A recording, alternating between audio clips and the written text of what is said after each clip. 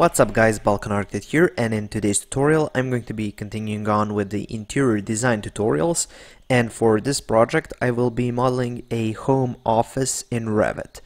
But before I get started I would just like to ask you to like this tutorial, it helps me out a lot and if you haven't already I suggest you subscribe because I make tutorials like this every day. And if you want to check out more interior design tutorials, check out the links in the description of this video.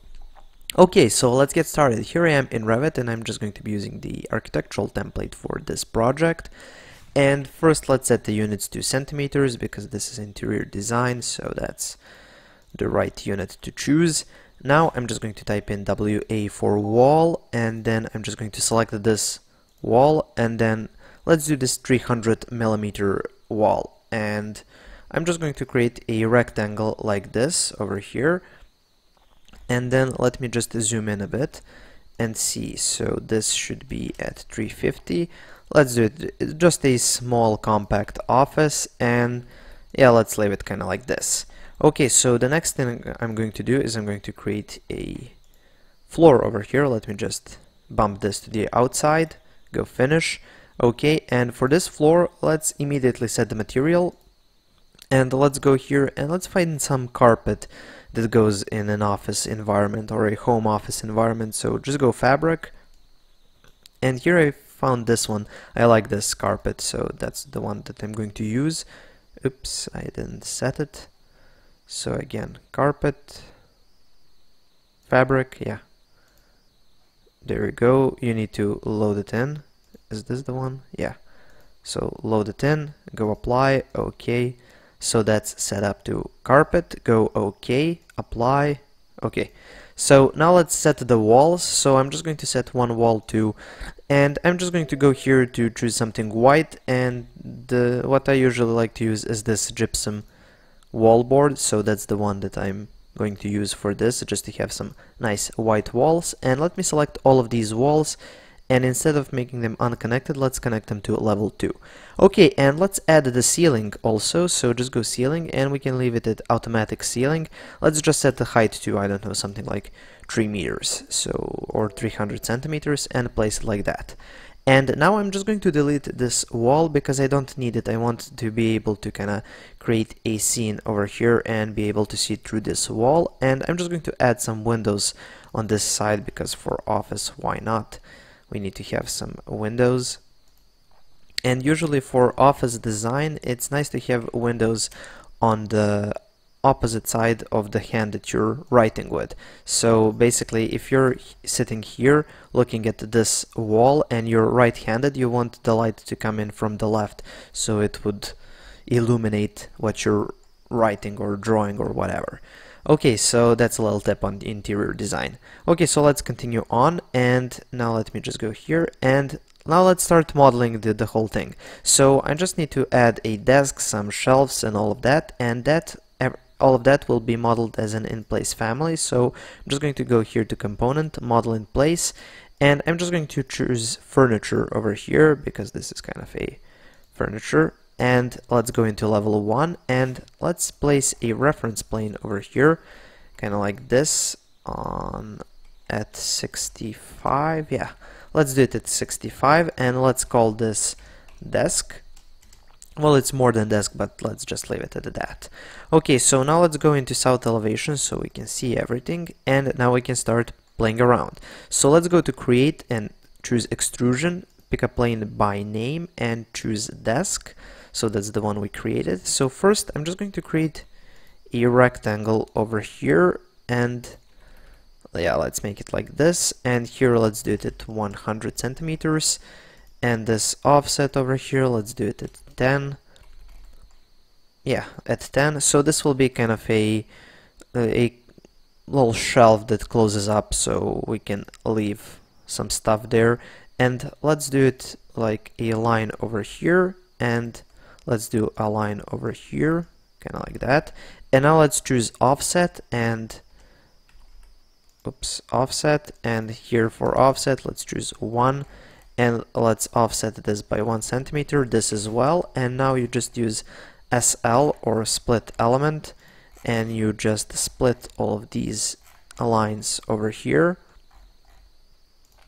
And now I'm just going to trim and extend all of this so go trim and extend trim and extend trim and extend and yeah and you finish it off over here.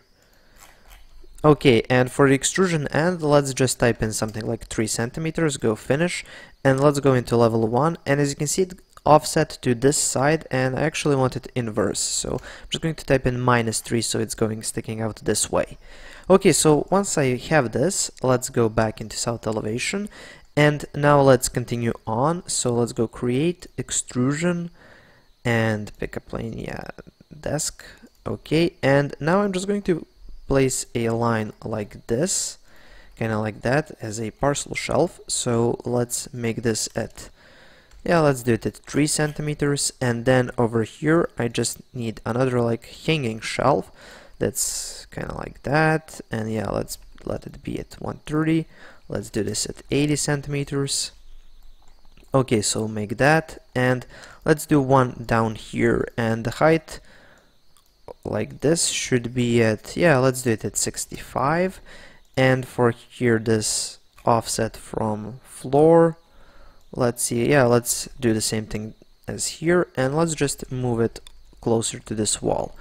Okay I like it here so let's just leave it at that go finish go into level 1 and let's just extend it all the way back so we have this kind of partition between this part and this part and here we have some other shelves over here so now let's go back into south elevation and let's add some partitions over here for the drawers or something like that. So go create void, void extrusion, and let's use pick a plane and pick this plane.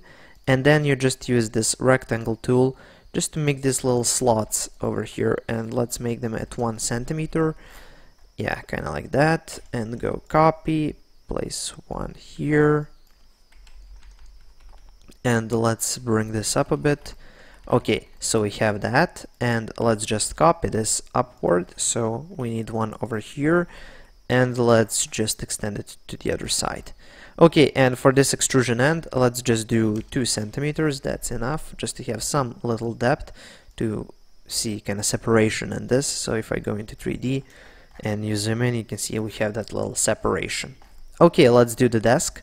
So go back into south elevation, go create and let's do extrusion and pick a plane by name and pick a desk and now let's go something like this. So desk is kind of entering this here shelf so that's nice. And let's see let's set this up at something like 75 and then for the thickness of the desk let's do for 5 centimeters perhaps. Okay, so we have that. And then let's go edit extrusion again and let's do a little shelf over here, kind of like that. Let's do one over here that's kind of closing everything up, kind of like that. Maybe extend it a bit, so maybe do it at, yeah, at 14. This should be a lot thinner. Oops, don't need this. Okay, so let's place this at, I don't know, something like 3 centimeters and let's just bring it up a bit and let's just copy it so go CO for copy and copy it over here. And let's repeat that. So you kind of repeat this these little shelves over here. Extend them all the way up. Maybe we don't need this top one. It's a bit too much. Okay so once this is finished you just go finish go into level 1 and again extend it all the way to the back so we have that, and if we go here, yeah, this looks real nice. Okay, let's add some more shelves. So go to south, and let's go create, extrusion. Yeah, let's leave it at the desk, and let's turn on here wireframe so I can see the position of these here shelves. So I'm just going to go here from this one, kind of like that, and then let me just align this thing and let me copy this all the way up so just go copy once and twice so we have these nice little three shelves over here and when I go here into level 1 and just hit finish I'm just going to move them all the way back and kinda make them go inside of the table a bit just to give you a bit of headroom when you're working on your table. So let me show you how this looks like in 3D. So this is what you get. And we can go into wireframe, yeah. And let's just join geometry over here to join all of this. And then we can select all of it and add the material. So for this, I'm just going to search for some nice wood. And I like this birch wood so I'm just going to load it in. Apply OK. And for the rest of the elements I'm just going to use some white material. So let me just search for something white and yeah let's do this clad go OK I know that's not the material for wood but who cares? It looks nice. Okay, so we have these shelves and let's add just a little nice architectural interior design detail over here, just something holding these shelves in place. So I'm just going to go into level 1 and place a, let's go, reference plane, place a reference plane kind of like this. And let's call it, I don't know, 1. And now let's go here to east elevation and turn on wireframe. And now we can just create an extrusion that's placed on our reference plane number one. And let's go and create a rectangle kind of like this. Place it over here. Yeah do it at two centimeters. And then let's do let's do another line over here. Yeah do it like this. Okay. And then let's just trim and extend. And go finish. And let's leave it at one centimeter. And let's go into south elevation. And you just go copy and you unconstrain it. And then you can kind of copy it around. Let's do it like this yeah this looks nice. And if we go into 3d this is what you get. And let's choose some metal. So let's go. And let's search for something dark like this iron. Yeah let's leave it at that. And let's go. Continuing on let's place some other furniture over here or some other elements. And for that we need families. So let me just finish this model and let me go here to hidden line yeah so this is what we have this looks real nice and if we go here to realistic it looks like that so I really like the way this turned out. So we need to just add something to make it more alive. So I'm just going to move this to a side and as you can see here I've got a bunch of families and I'm just going to load them all in. So let me just slide them over and now this will take a bit of time just as Revit needs to update all of these families. So let's give it a second. Okay, and now maximize screen, go into level 1 and let's check out these components I've loaded in.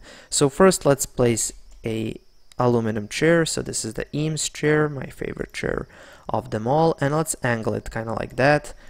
And then you can select it and here you can add material. So for the seat material, I want something white, so let me search, yeah, let's do gypsum wallboard, who cares. And for the metal material, let's find some chrome. So search Chrome, let's search for this one, go apply, okay. And then let's add some more components. So here I've got a book, so yeah, why not? Let's add a book over here and let's just go to south elevation. And as you can see, the book is on the ground. Of course, books shouldn't be on the ground, so let's place it over here. And let's copy it up, kinda, I don't know, place it over here. Can attach it to that. And of course, double check everything in 3D just to see. As you can see placement over here is wrong so I'm just going to use the arrow keys just to slide it on the shelf over here. Yeah that works. Okay let's add some more components so go back to level 1 component let's see what else we have. We have this vertical book. Okay this is better. So let's just place it kind of like that. Go to south elevation and again it's nowhere where books should be so it's on the ground. And let's just copy it a bit. So just go copy multiple and let's create a few books over here. And then we can kind of copy this I don't know copy this upward. Place it here maybe delete one maybe add a few here. Just to make it like somebody actually lives and works here. So let's go back into level 1, let's add more components. Let's see here, I've got, this is the light that I'm going to use, so let's place a light. So let's go to ceiling plan number 1 and go component, where's our light?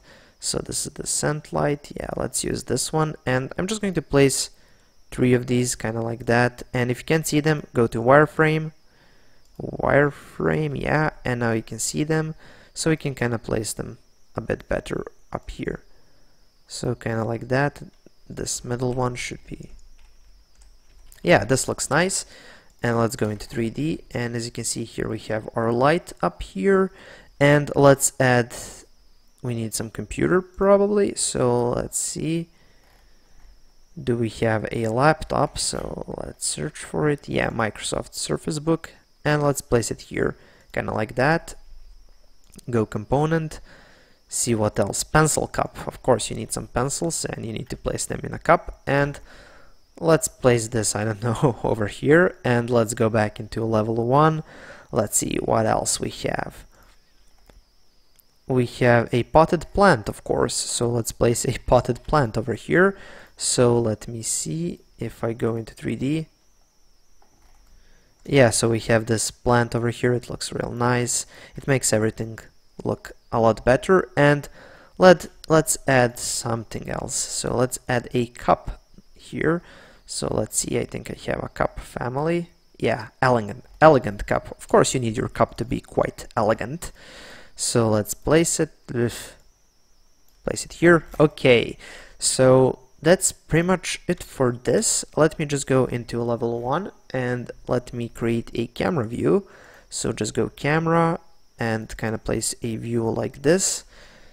Maybe orbit a bit down and then look look a bit down kind of like this. Yeah and then we can maybe extend this a bit kind of like that. Yeah this looks nice and as you can see now, I've added here a curtain. Now, I've already done a tutorial on how to create curtains in Revit, so that link will be in the description, so I'm not going to bother you with that in this tutorial. But now let's just see how this looks like in a rendering. So I'm just going to hit the double R for render, go here and choose, let's choose medium, and here for the lighting scheme, I'm going to choose interior sun and artificial, and let's hit render. Okay, and this is what we get. Let me just adjust exposure to a bit darker. Yeah, something like that. And as you can see with this curtain it looks nice, it kinda prevents too much sun from entering the room. But anyway, you get the point. So we have this interior design for a home office done all in Revit. I hope you have learned something new. Thank you for watching. Please subscribe, like and share this video. And if you have any questions, comments or suggestions for future tutorials, please leave them in the comment section below. Thank you for watching and have a nice day.